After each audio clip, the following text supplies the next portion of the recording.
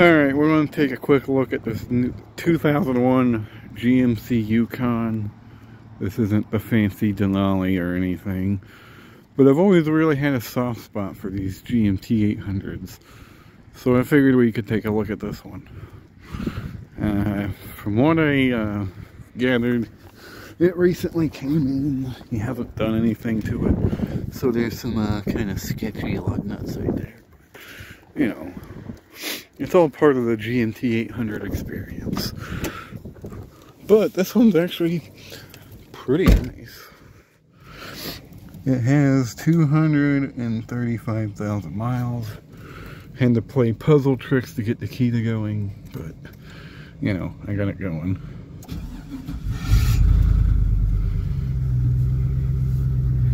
Starts right up. It's almost out of gas. It Ain't got no gas in it. It's got the uh, basic steering wheel.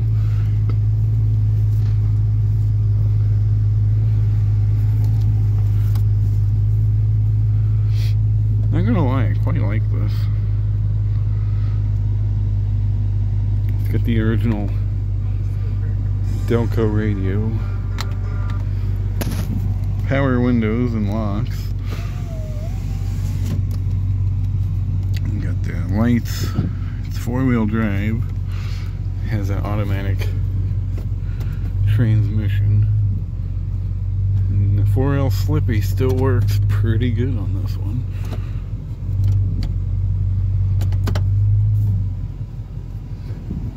It has your power outlets there. Ashtray. Uh, climate controls that look pretty beat up the cassette player for the uh, radio. And a cubby down there. Some cup holders. Big center console. And I, I guess you can lock it. You got the rear climate controls back there. These very comfy seats. I really like these. It's got your climate for the back which works. Light. Head visors which have the double thing.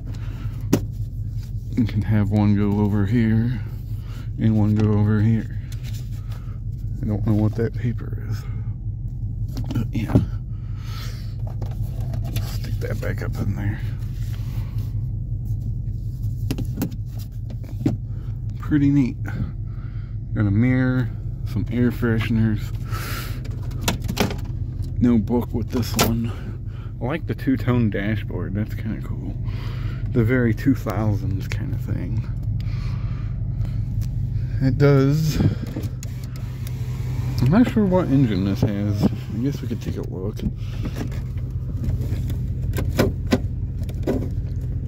I don't know if that actually popped or not.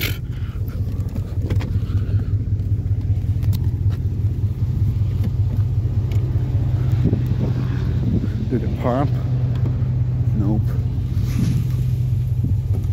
Sounds pretty good though. If the trim pieces would quit trying to play pinochle here. I think I got it. Yeah, we got it. God, that was a pain in the ass. Now I gotta find the latch has the Vortec 5.3. The truck engine everybody wants for Ellis. This one runs pretty nice.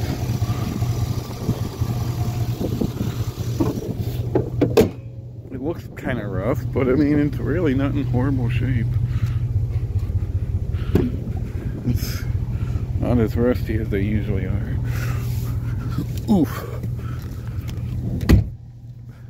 Back seat's very comfortable. Very soft seating with your rear climate, or actually that's rear radio controls, cup holders. What I remember most about GMT 800s is the very soft seats and the very soft carpeting. They're very nice trucks. I really like these things. Not gonna lie, if I was in the market for a big SUV or a big truck, this is probably what I would get. I think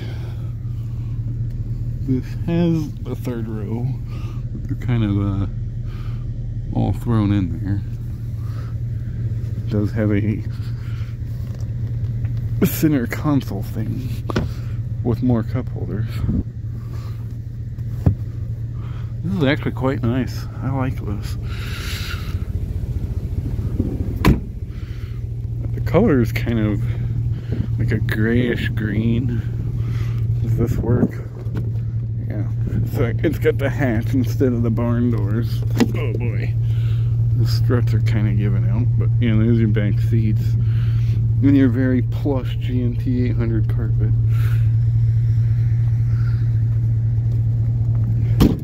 This thing's actually in pretty nice shape still. I mean, it's not the nicest one I've ever seen, but not in horrible shape. It's got what looks like mostly all the original wheels, except for the one on the driver's side. But yeah. Do three revs for Dale. Because you can't have a GMT 800 without doing it for Dale.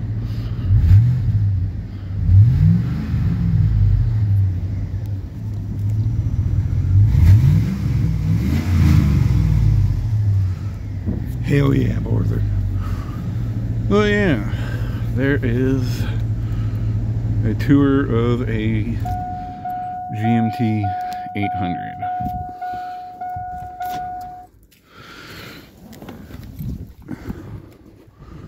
So, thanks for watching. And I hope you enjoyed.